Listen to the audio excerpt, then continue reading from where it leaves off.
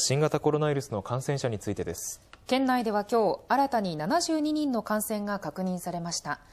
また仙台市で患者1人が死亡しました。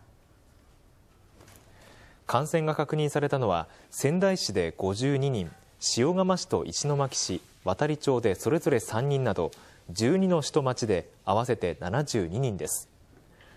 このほか今月上旬に感染が確認された5人から感染力が強いとされる変異ウイルス N501Y 型が検出されました。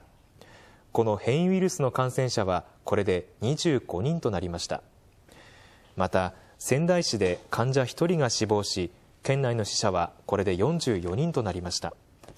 今日午後3時時点の県内の入院患者は過去最多の213人で病床の占有率病床の使用率は77.5%となっています。